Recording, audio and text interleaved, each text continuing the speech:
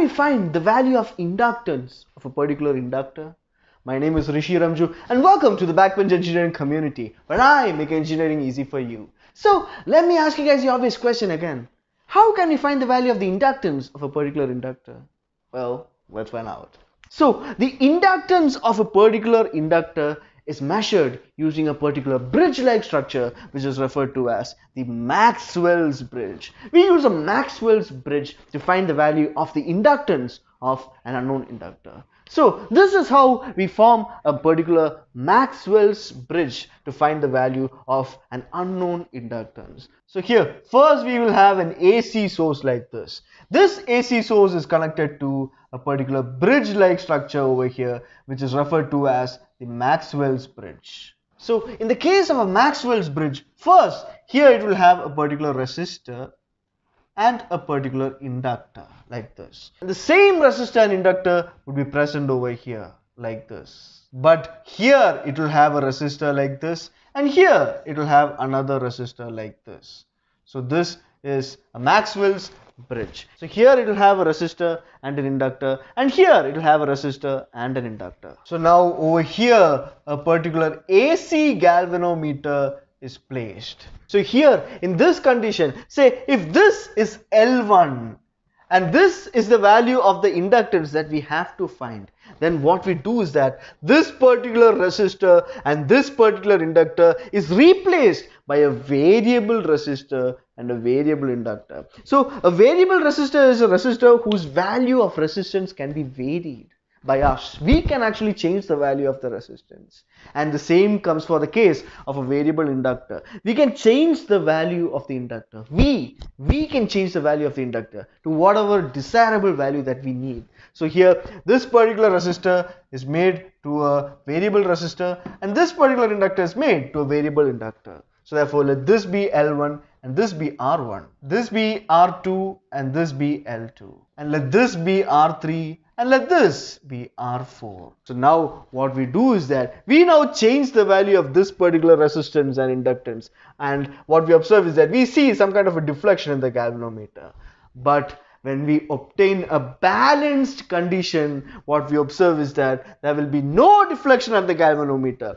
This is because no current flows through this particular galvanometer in the balanced condition same as that of what we saw in the previous video in the case of measuring a resistance. So if you guys haven't watched that video, I'll leave the link to that video in the description below. Do check that out. So here when we obtain a balanced condition, what we observe is that the potential difference between these two points is equal to zero. That is, there is no difference in the potential between these two points. So hence as a result of this, no current flows through this particular galvanometer and therefore what we observe is that in the case of a balanced condition the total impedance ratio if the total impedance here is say Z1 and the total impedance here is a Z2 then Z1 by Z2 is equal to Z3 by Z4 that is what we obtain in the case of a balanced condition. That is impedance of this region divided by impedance of this region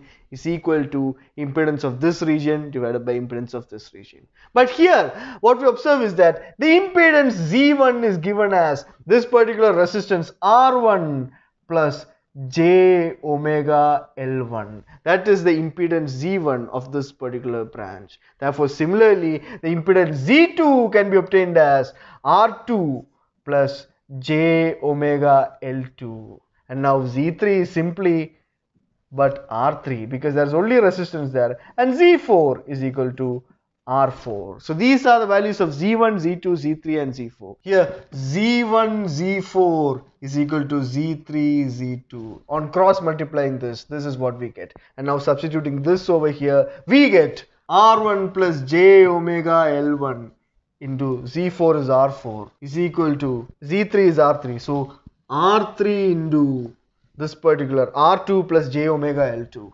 And now on expanding this we get R1 R4 plus J omega L1 R4 is equal to R2 R3 plus j omega r3 l2 so this is what we get so here what we observe is that these are the real parts and these are the imaginary parts. So now on equating the real parts, we get R1, R4 is equal to R2, R3 and through this we can find the value of this particular resistance as R1 is equal to R2, R3 divided by R4. So here like this, we can find the value of the unknown resistance R1 if we don't know the value of this particular resistance. And similarly, by equating the imaginary parts, we can obtain omega L1 R4 is equal to omega R3 L2. So here omega and omega gets cancelled and therefore the value of the unknown inductance